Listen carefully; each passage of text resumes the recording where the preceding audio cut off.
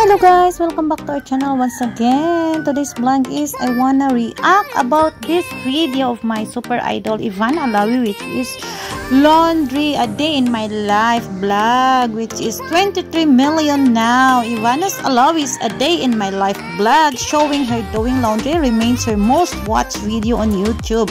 Really guys, it's really true. I really love this vlog because she's doing a lot of things on how to uh, keep her things, her bed and also how she is doing her laundry. with The actress and social media star on Friday treated her follower to a throwback of sorts as she posed on the cover of Lifestyle magazine tribute channeling the image of a Filipina in the province with a sultry twist. It's really true guys.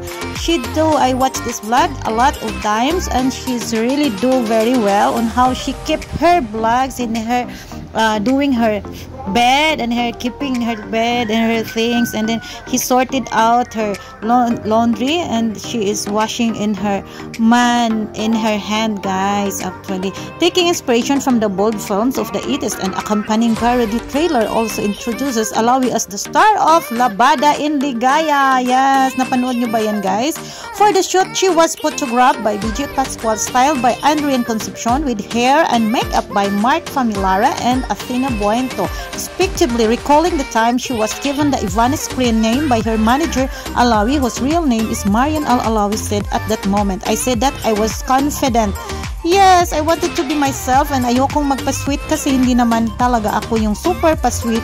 She was quoted as saying, bye, Freeview. Sabi ko, if I go back and if I give it one more shot, then I want to do it the way I feel like doing it. Parang who I really I am, sabi nga niya. Sabi ko, I'm not gonna be young and sexy forever. So, ayun, I said, I have to give it shot. Yes, yes, yun naman guys, totoo talaga. Hindi naman siya puro sexy lang. Talagang she is a very talented. She is a very good actress. She is a very good model. And she really do herself as a normal, natural guys. Natural talaga niyang ginagawa yung kanyang paglalaba. Talagang alam na alam alam niya kung paano maglaba guys. He said, and talagang nakikita ko naman talaga sa kanyang videos na totoo talaga sa kanyang sarili. Hindi niya ina-acting lang talaga guys. At lalo na ngayon, yung super sikat na talaga siya guys. Uh, she is really do what she is really is who who she is. Hindi talaga nagpapakitang gilas lang siya. Talagang marunong siyang maglaba, marunong siyang mag mag ligpit at paano niya iso-sort out yung mga labahin niya dito sa vlog na to. Kaya saludong saludo ako sa kanya guys. Really, I admire this lady. I admire this idol and she is very a good vlogger. Very good idol to all of us and uh, maraming na-inspire sa kanyang talent at sa kanyang kaba kabaitan guys. And kahit sikat na sikat na siya marunong siyang tumingin sa mga mahihirap. Hindi siya uh, nag-iinarte dyan na uh, nandidiri dyan. No no no guys. She's not really like that. I really love you idol Ivana Alawi.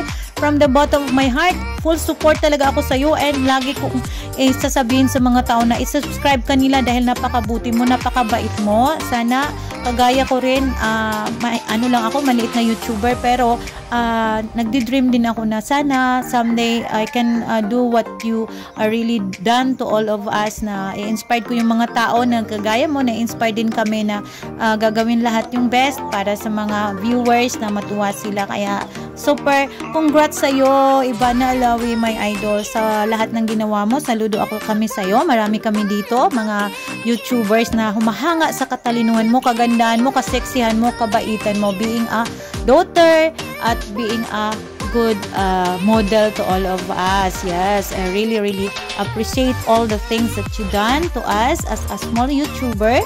Ikaw yung hinahangaan namin sa lahat-lahat. Yan, ikaw yung pinakasikat, pinaka mabait na tao na lagi naming iniidolo. Yan, God bless you. Uh, Ivana Lawi, God bless you. And congrats sa yung 24 billion